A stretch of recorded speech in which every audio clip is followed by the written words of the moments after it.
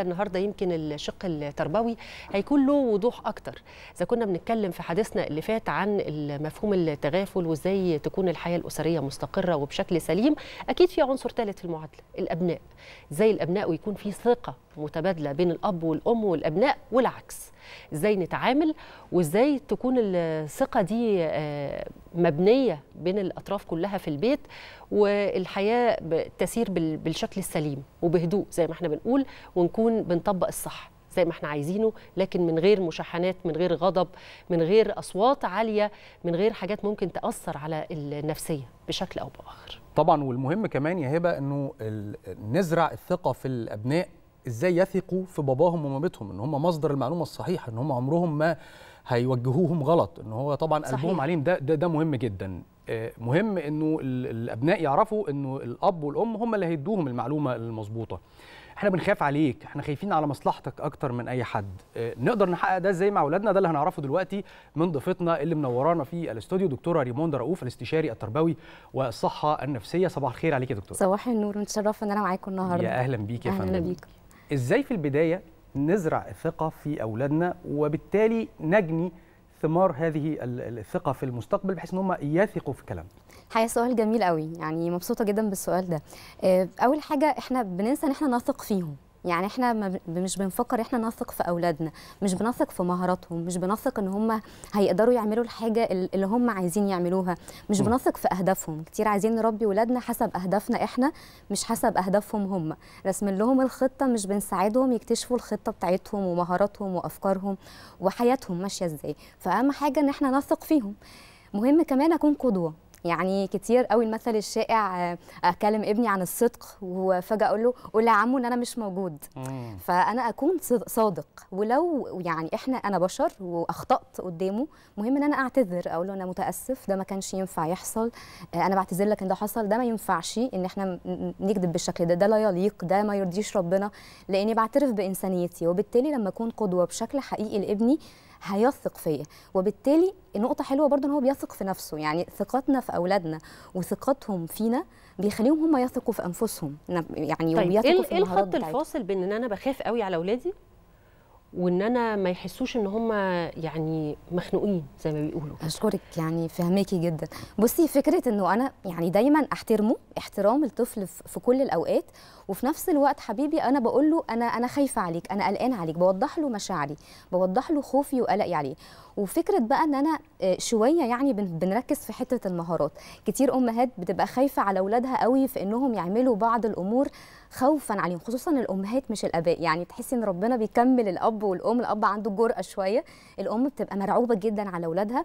فأنا دايما بقول ندي مهارة نشوف هو اتدرب على ده ولا لأ اتدرب مثلا ينزل لوحده ولا لأ اتدرب يجيب حاجة من تحت لوحده ولا لأ.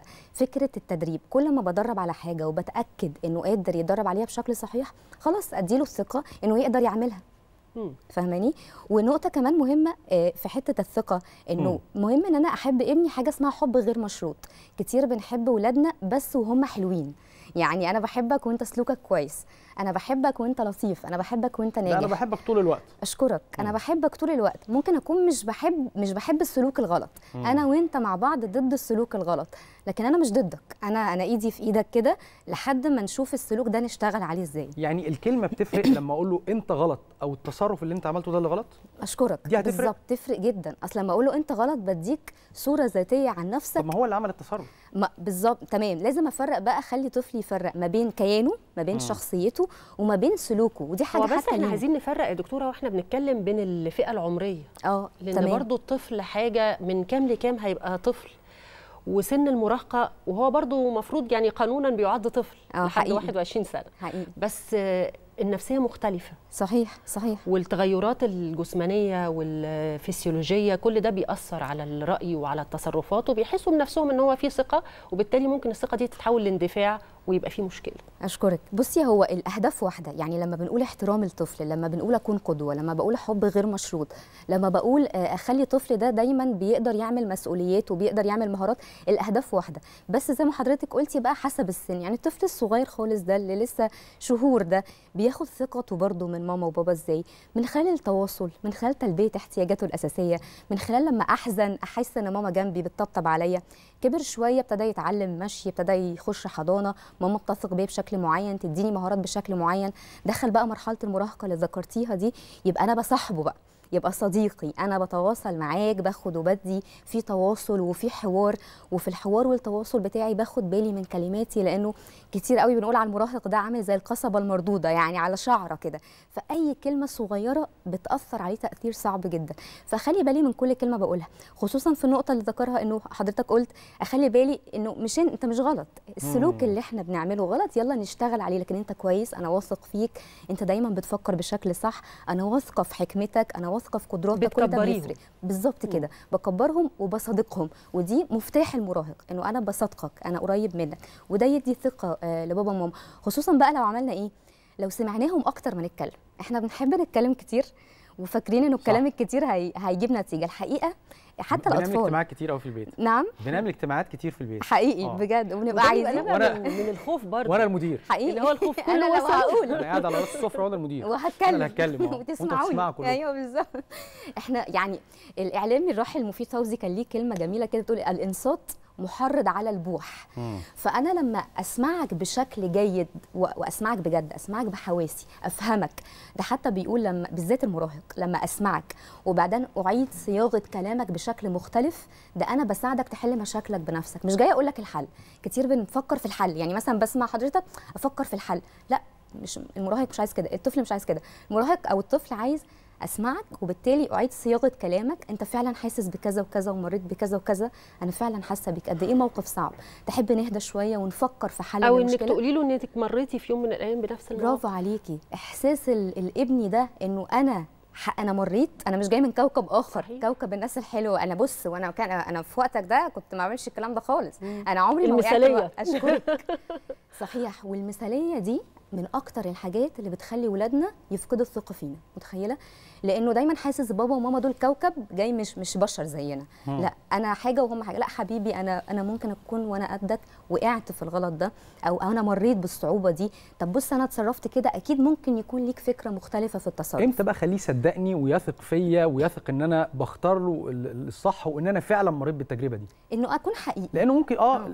برافو عليكي بقى لأنه هنا. ممكن إيه بقى ممكن الأب والأم يختلقوا قصص صح ويألفوا قصص لمجرد إن هم يدوا لاولادهم موعظة مثلا عن موضوع معين أو ينصحوهم بحاجة معينة آه، لازم صحيح. يكون فعلا مره بيه. حقيقي يعني أنا في آه. احدى الاطفال اللي كنت بشتغل معاها في, في كورس الثقة بالنفس فالمهم الطفل ده بتكلم معاه هو بيحكي هو ده مراهق فبيحكي لنا موقف في جلسة كده إنه كان بابا دايما مفهمه إنه جايب أعلى الدرجات آه، في في, في كل. المراحل ومش عارفة إيه و... وأنا كنت وجدته مفهم- طلعت الشهادات عارفين إحنا القصة دي آه وهو آه. هو حبيبي اللي اكتشف هو كم- بقى لما كبر هو فعلا شاف بيطلع الاوراق بيروق مع ماما البيت بيساعدها هو فعلا يعني القصة اللي بسمعها لا أنا شفتها حقيقي. شفت الطفل فتح آه، جميلة قوي درجاتك يا بابا بصراحة كانت فظيعة يعني. فطب ليه ما بنكونش حقيقيين؟ ليه ما بنكونش صادقين؟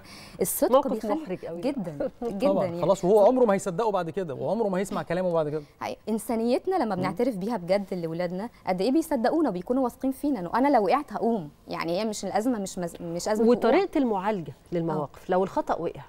لو الخطأ وقع بالفعل. نعمل إيه؟ بصي أول حاجة فكرة إنه أنا بحبك. اطمن إن أنا بحبك. اطمن إن أنا. واقف جنبك. أنا في ظهرك. أنا بساندك. بس أكيد أنت عارف إن أنا ضد الغلط. أكيد أنت عارف إن أنا ضد السلوك ده. تعال نفكر هنحل ده إزاي. طب ليه عملنا ده؟ طب إحنا كنا متفقين قبل كده إنه لو ده حصل ممكن يحصل إيه توابع ليه؟ وكأننا بنتناقش مع بعض. مش فكرة عقاب وقهر فكرة إنه أنا بتناقش معاك إزاي أنت هتعالج نفسك. بصي هدفنا الطفل في الآخر مش مستني حد لما يكبر زينا كده ما فيش حد بيجي يقول لنا اعمل في الصح. مشكلة كبيرة أكيد يا محمد برضو العصر. آه. أنا مش المصدر الوحيد. مختلف. آه، صح. أنا مش المصدر الوحيد. ولا عمري هكون المصدر الوحيد. صحيح. واختيار الأصدقاء وإزاي إن هو يجي لي أنا ما ياخدش آه، آراء. ممكن صديق كويس جدا بس الخبرات بتبقى أقل. آه صحيح. فبالتالي الصورة ما عند صديق أو صديقة ما بتبقاش برضو بالشكل الكامل اللي هو يدي النصيحة المظبوطة. آه حقيقي. عشان كده بحب جدا سياسة كده اسمها المناعة. لي وليست المنع. إيه الفرق ما بين المناعة والمنع؟ لما أنا أتحاور مع الطفل من وهو صغير أتناقش معاه أجيب له المعلومة الصحيحة بس على قد سنه أفهمه المصدر إيه؟ المصدر مش دايما النت في كتب ممكن نرجع لها في ناس خبيرة ممكن نرجع لها. فالطفل ده عنده المناعة. يجي بقى صديقه يقول له معلومة غلط يجي صديقه يرمي له كلمة مش مقبولة. هو عنده مناعة اللي هو الرفض. الكلام ده أنا مش مش واثق فيه. يرجع لمين بقى؟ اللي كانت بتنصحه من هو صغير. بابا وماما أنا واثق فيهم. حتى لو مش هتقولي المعلومة على الأقل هتقولي هجيبها منين؟ هجيب المصدر منين؟ ده نتيجة لعشرة بقى تواصل مم. وحوار من وهو صغير. في بعض الناس بيقولوا المتخصصين يعني بيقولوا إنه الأولاد لما بيكبروا حتى لو كانوا رافضين دلوقتي النصيحة من باباهم ومامتهم لكن بيفضلوا فاكرين الكلام ده فلما بيكبروا بيعملوا بيه. صحيح. وهم صغيرين كمان صدقني. يعني الأطفال الصغيرة لما بتيجي مثلا أقعد نعمل معاهم جلسات أو ورش يقعدوا يقولوا نصايح لبعض. لما بلغها لبابا وماما يقولي مستحيل زي اللي إحنا. قلنا لهم واعترضوا عليه. مست... أشكرك. آه، اللي آه، هو آه. ابني بيقول كده انت بجد طب ليه بتتكلمي بيعمل بجد؟ كده؟ يعني ليه يعمل كده مع باباه ومامته. وهو بيتصرف نفس التصرف اللي هم عايزينه؟ طب ما يريحهم ويقول لهم أنا هعمل لكم اللي أنتوا عايزينه دي طيب. حاجة في علم النفس هو عايز يظهر شخصيته. أه أنا موجود. أه أنا موجود. على فكرة هو بيقتنع من جواه بس هو مين ال... إيه هو ال- ال- المعمل اللي هو اللي هيكون عندي فيه شخصية؟ البيت. بابا وماما. فدايماً- ويبان في التصرفات بره بقى. آه بيبان في- بقى في ميدان بيبان. التصرف بقى آه يعني. بيبان. يقول نصايح ماما يعني مثلا تلاقيهم بيتكلموا على الأكل الصحي. أنت أنت بتاكل أكل أنت بتسمع كلام الأكل الصحي وإيه إيه هي مميزات الأكل الصحي؟ ولازم ناكل أكل صحي. وماما إيه يعني تعبت معاه. فهو بيعمل إيه؟ لا هو مقتنع من جواه بس بيعمل شخصية. عشان كده. دايما بنقول اللأ بتاعة الطفل ما فيهاش مشكلة. يعني يقولها بس باحترام لما احترم شخصيته. ما أقولوش بابا وماما ما يتقالهمش لأ. لا عادي. يتقال لهم لا بس حبيبي بنتكلم باحترام. ارفض بس باحترام.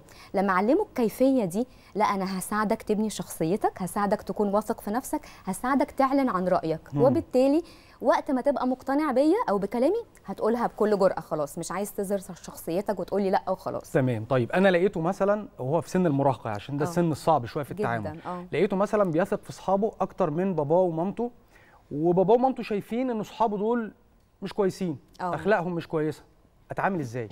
بص آه، يعني هقول لك بس بكل صراحة ليه المراهق ممكن يختار أصحاب غير يعني عندهم مشاكل كتير. مم. بتكون النتيجة في الأول في البيت. يعني الطفل اللي متربي إلى حد ما بشكل كويس اختياره بيكون كويس. لكن لما بيكون الطفل يعني بيدور على اللي شبهه يعني. آه بي... لا مم. مش على شبه عارفه عارفة لما يكون البيت مضايقني قوي مم. عايز و- يخرج. عايز عايز يكسر. القيود اللي في البيت دي حاسس ويطلع إن بره. أنا مش شبعان. أشكرك. وعايز مش شبعان. مش شبعان حب. مش شبعان انتماء. تخيلي بقى لو بتضرب كتير بيتزعق لي كتير بتكسر كتير في البيت. بيجي لي إحساس أنا بقى مش أنا وحش أنا وحش. يعني فاهمة. الفكرة إزاي؟ آه. فلو ده حصل تعالوا نشوف ال- البداية إيه. يعني دايما بنتكلم عن جبل جبل التلج. الجزء اللي تحت أكبر من الجزء اللي فوق. أيوة. الجزء اللي فوق ده السلوك اللي ظاهر قدامي. تيجي نشوف العمق؟ تيجي نشوف العمق مفيش محبة. تلاقي فيه مشاكل نفسية. آه. دي لو مليناها بشكل صح و... و... وتواصل وحوار واحتواء مفيش حل تاني. تيجي يعني مش عارفة لسه بشوف أفكار. لا أنا هقهره. لا أنا هحبسه. لا مش عارفة إيه. طب ما أنا هجيب نتائج عكسية. طب ما أنا هيخرج من السجن ده. ممكن يعمل أفعال أصعب بكتير مش هو ده الحل. يعني إحنا لو ده الحل كنا لقينا ناس أسوية بالشكل ده لكن مش ده الحل. فالحل إنه أنا أتواصل أحتوي أحب. ودايما بحب أقول للأباء والأمهات ملحوقة. لو غلطنا قبل كده لا علم النفس بيقول وده ملحوقة كمان يعني. بيخلينا نتفادى مفهوم الكذب. آه إن. هو مش خايف فبيجي يقول أنا حصل كذا آه. فبيتم التوجيه بشكل بشكل يعني كويس آه. فيه هدوء. شوية آه. في ال- في وبلاش التناول يعني فبالتالي ما. يبقاش فيه كذب علشان هو خايف آه. من العقاب حقيقي وبلاش أكون قاضي على طفلي اللي هو فكرة أنت عملت كذا أنت ما عملتش كذا أنت هتروح مش عارفة فين أنت هتعمل إيه أنا أنا عارفة إن أنت عملت كده بلاش الفكرة دي بكل بساطة حبيبي أنا عارفة إن أنت عملت واحد اتنين تلاتة وبالتالي تعالى نحل المشكلة دي مع بعض ومفيش داعي يبقى يتكرر تاني آه. ومفيش بش- بشكل بسيط كده ده هيفرق جدا معايا إحنا بنشكر حضرتك شكراً ليكي. شكر كبير شكراً وطبعا ليكي. الحديث أكيد بيطول وكل واحد في ذهنه كده بيتعامل إزاي مع أولاده وممكن يعدل إزاي التعامل ده لو في أي نوع من ال- من الخلل شوية أنا بشكرك شكراً آه،. دكتورة ميرسي. ريموندا رؤوف الاستشاري التربوي والصحة النفسية شكرا ليكم جزيلاً. شكرا ليكم